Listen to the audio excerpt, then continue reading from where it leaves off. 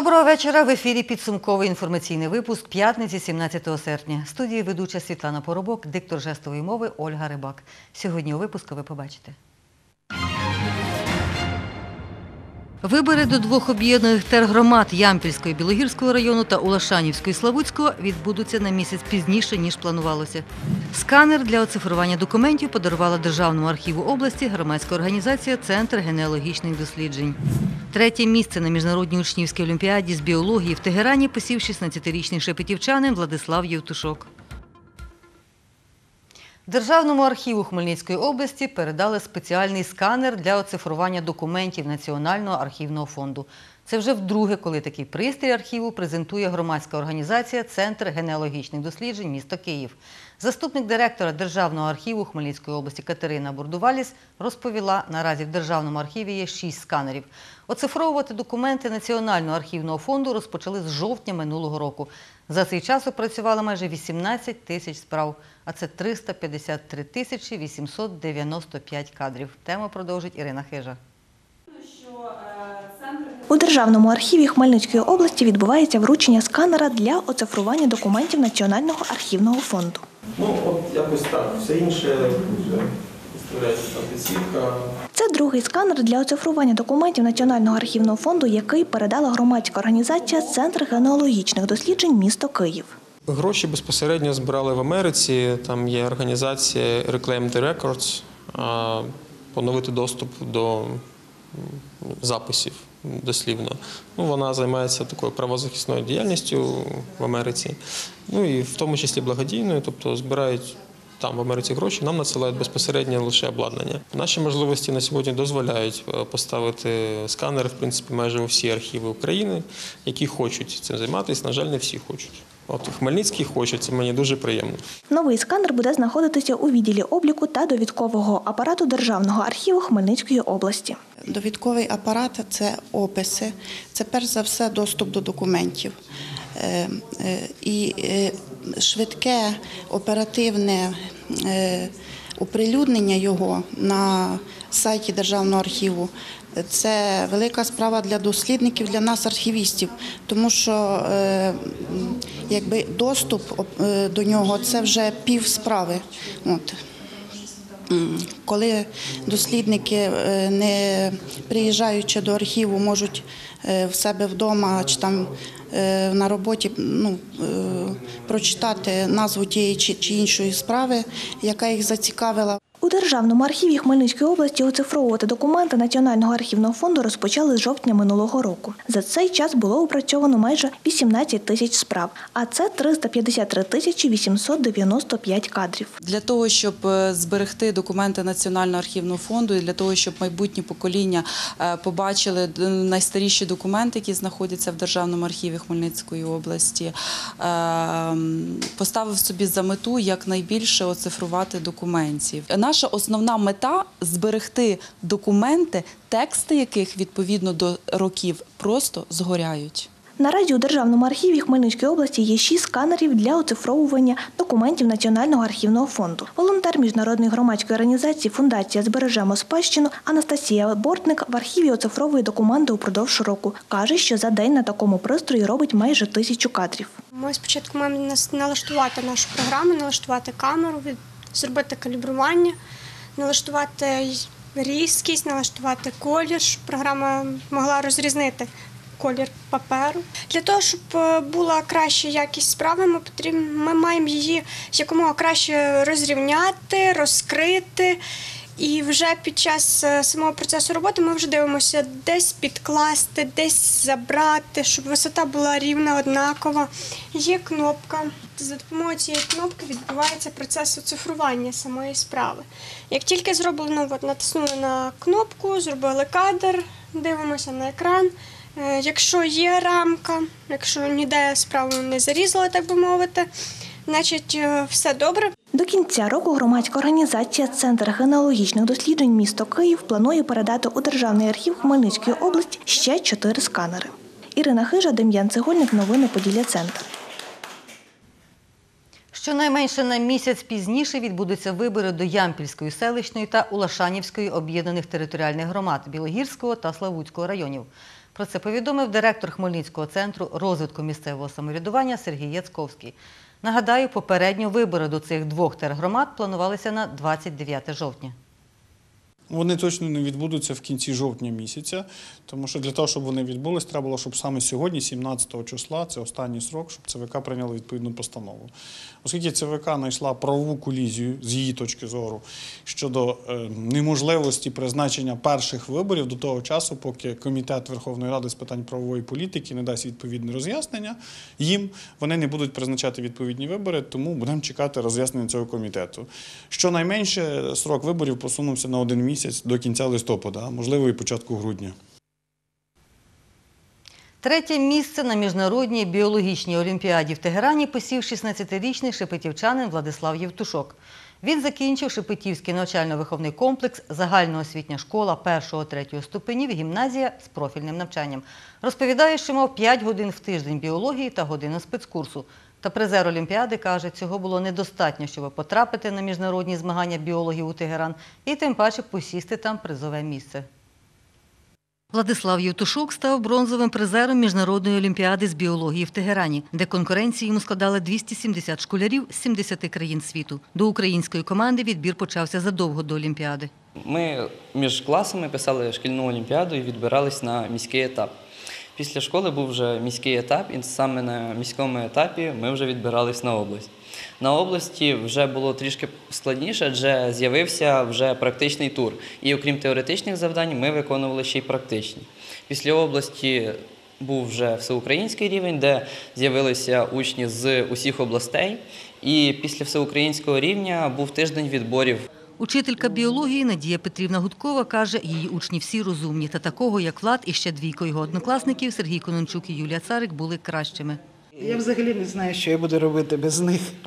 Тому що в мене оця трійка з цього класу це взагалі найкраще, що в мене було за всі роки. Учителька каже, вперше в історії Шепетівки школяр став призером міжнародної олімпіади з біології. І цього ж року команда, капітаном якої був Владислав Євтушок, стала переможецею всеукраїнського турніру юних біологів, де змагалися 24 команди. Тут працювали денно і нічно, скажімо так. Е, Діти вночі вдома. Тут іноді навіть і що ми їмо тут це звичайно підкріплюємо свої сили. І навіть дехто і спав іноді прийшов зночі, тому що ночі працював, іноді і прийшлось тут десь відпочити. Ну, в общем, ми працювали, працювали, працювали і працювали. Коли стало відомо, що Владислав Євтушок пройшов відбір претендентів на Олімпіаду в Тегеран, вчителька допомогти учню не могла. Школяр готувався на базі університету Шевченка в Києві, де протягом тижня із шести учнів залишили чотири. Владислав у цьому відборі посів друге місце. Ну, Для мене найбільшу складність склали, звичайно, практичний тур, але так склалося, що я його написав краще, ніж теоретичний. Нам потрібно було скласти якийсь експеримент, потім проаналізувати наші результати. Е, іноді нам доводилося, ну не іноді, а нам доводилося препарувати деяких тварин, потім визначати методом титрування концентрацію деяких речовин і так далі. Завдання на міжнародній олімпіаді, каже Влад, різнилися з завданнями всеукраїнських біологічних турнірів. Е, Якщо порівнювати завдання з тим, що ми вчимо в школі, то їх навіть складно порівнювати. Владислав склав ЗНО з такими результатами: 191 бал мова, 197 балів хімія, 198 біологія. Такого науковця в мене ще не було. Він це знає, я йому про це говорю, що в тебе потужні е, можливості для науки. Але він вибрав, що вибрав. Для вступу Владислав обрав Полтавську медичну стоматологічну академію. Я більше думав про своє майбутнє життя, ніж про те, чим буде цікаво займатися. Науковцем тут бути надзвичайно складно. Світлана Поробок, Дем'ян Цегольник, новини Поділя Центр. Сьогодні в 19-й годині в обласному театрі Старицького розпочався благодійний концерт до 50-річчя співака Андрія Кузьменка. У концерті беруть участь Вадим Кушнір, Артем Харченко, Сергій Нетичук, Майя Онищук, учасники акторської школи «Пармезан», кавер-гурт «Цвіт липи» та Хмельницький муніципальний камерний е, хор. Один із організаторів концерту Юрій Семчишин повідомляє, сьогодні проведуть аукціон, де лотами будуть речі з особистої колекції Кузьми та вироби його матері. Зібрані на аукціоні гроші передадуть на лікування онкохворого Максима Ремішевського. Вартість квитків на концерт – 70 гривень. Чим ще запам'ятається нам п'ятниця, 17 серпня, дивимося далі. Шоста виставка картин Марії Приймаченко експонується в обласному художньому музеї. Триденний фестиваль Медовий спас розпочався сьогодні в Хмельницькому парку культури і відпочинку імені Михайла Чекмана. Срібна призерка чемпіонату Європи з легкої атлетики Марина Бех готується до весілля. Фестиваль Медовий спас розпочався сьогодні у Хмельницькому парку культури і відпочинку імені Михайла Чекмана. Втретє захід організовує управління культури і туризму Хмельницької міської ради. Триватиме фест три дні з 17 до 19 серпня. Про це повідомив начальник управління культури і туризму Хмельницької міської ради Артем Ромасюков. За його словами, під час фестивалю для відвідувачів працюватимуть різні локації. Локації у нас традиційні. Це і пізнавальна галявина, це і медовий майданчик, центральний майданчик, де наша центральна сцена, відповідно алея майстрів, спортивний майданчик, майданчик дитячий садочок, де будуть різноманітні абсолютно заходи. Це і музей під відкритим небом, це і бібліотечна галявина, відповідні там дискусії, вікторини, майстер-класи, багато меду, продуктів взагалі бджільництва. У шостий відкрилася виставка картин майстрині Марії Приймаченко у Хмельницькому обласному художньому музеї.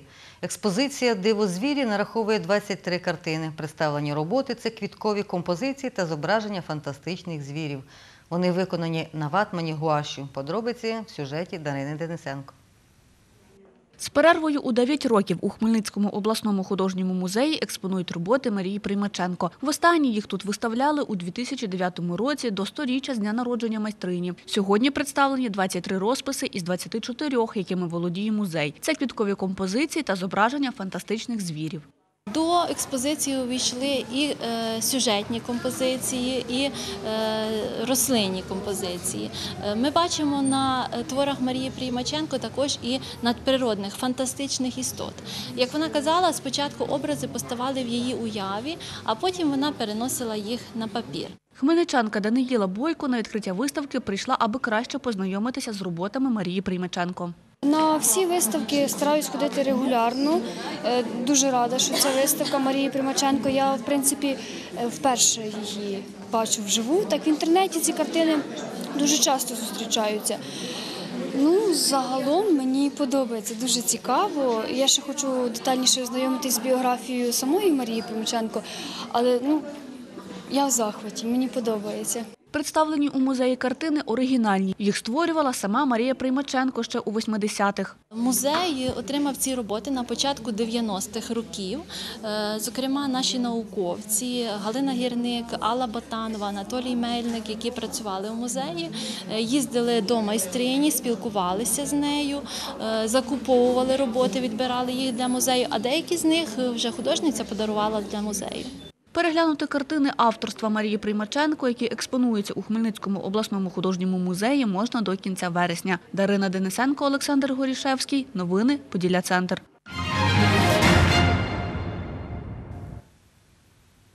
У Хмельницької стрибунки в довжину Марини Бек змагальна перерва. Сезон вона закрила 11 серпня на чемпіонаті Європи в Берліні, де стала другою з результатом 6 метрів 73 сантиметри. Тепер спортсменка тренується в легкому режимі і готується до весілля. Спільні тренування Марини Бех із нареченим плавцем Михайлом Романчуком бачила Ярослава Антошевська.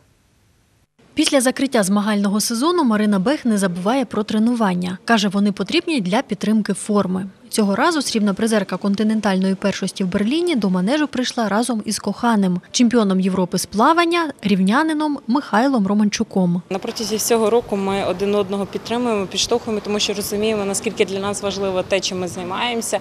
В кожного бувають важкі періоди, бувають травми, бувають якісь спади в тренуваннях, е, чи взагалі просто важкі тренування, коли ти приходиш додому і таке враження, що ти просто зараз ну так впадеш і більше не встанеш. І оці моменти якраз ми дійсно завжди один біля одного. Як не я його підштовхую, то він мене підбадьорує. Михайло Романчук розповів, був поряд із коханою і на чемпіонаті Європи з легкої атлетики в Берліні. Я думав, що я там посію, чесно вам скажу. да, ну, коли я виходжу на старт, то це хвилювання, воно моментом. Просто ти коли пригаєш воду, все, це хвилювання зразу в енергію переходить. А коли ти тут сидиш півтори години на цьому стадіоні, і кожна спроба там через хвилин 10-15, то ти тільки те й робиш, що сидиш, молишся і думаєш, хоч би не заступ, хоч би не заступ. Марина Бех каже, напередодні виступу вболівала за коханого, який змагався на чемпіонаті Європи в шотландському Глазго. Мішко стартував раніше, ніж я, і я дуже вболівала за нього. Всі його запливи для мене були дуже нервові, а це було важко. А особливо його 800 фінальний заплив був перед моєю кваліфікацією. Я сиділа в Берліні, дивилася трансляцію. Я просто просила його лише одне: зроби так, щоб я сильно не хвилювалася, тому що мені завтра зранку стрибати. На підсумковому старті сезону чемпіонаті Європи в Берліні Марина Бех стала другою з результатом 6 метрів 73 сантиметри. Каже, прогнозів на змагання не робила та розраховувала на медаль. Звичайно, їхали так, щоб поборотися, поборотися за високі позиції. Е, Хотілося медаль. Тут говорити навіть нічого. І я чудово розуміла, що спроможна завоювати її. А тим паче, коли ми зайшли на фінальні змагання і пройшли перші дві спроби, я зрозуміла ще більше те, що дійсно можна боротися за гарні позиції. Був впевнений у силах Марини Бех її тренер Вадим Крушинський. Каже, якби не зустрічний вітер, вона б показала ще кращий результат. До цієї медалі ми йшли не багато, не мало 11 років. Е, З того першого дня, коли вона вступила в цей манеж в джинсах, десятирічна, ну, з хвостиком, е, така розкоординована, але гарно складена дитя. Е, І по, цю по, цей момент, коли це вже сформована особистість як е, спортсмен і людина. За словами Вадима Крушинського, після змагальної перерви Марина Бех розпочне підготовку до нового сезону. Е, Зараз треба відпочити, переосмислити і готуватися до наступного сезону, до міжнародних офіційних стартів. Я сподіваюся, що ця медаль е, підштовхне нас до ще більших звитяг. Зараз Марина Бех і Михайло Романчук розповіли, готуються до весілля. Воно відбудеться 2 вересня. Ярослава Антошевська, Віктор Кривий. Новини Поділля Центр.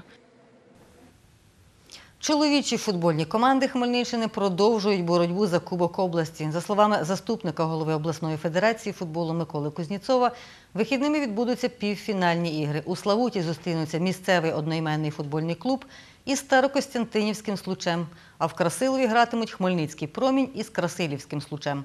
Матчі відповіді планують за тиждень. Вихідними відбудуться ще й змагання з регбі серед ветеранів спорту та Кубок України з регбі-7 серед чоловічих команд, повідомляє президент обласної федерації регбі Олег Плахотнюк. Поки що організатори не називають кількості команд-учасниць, не складений і календар ігор. Відбуватимуться ж змагання на стадіоні Поділля. На цьому наш випуск завершено. До побачення.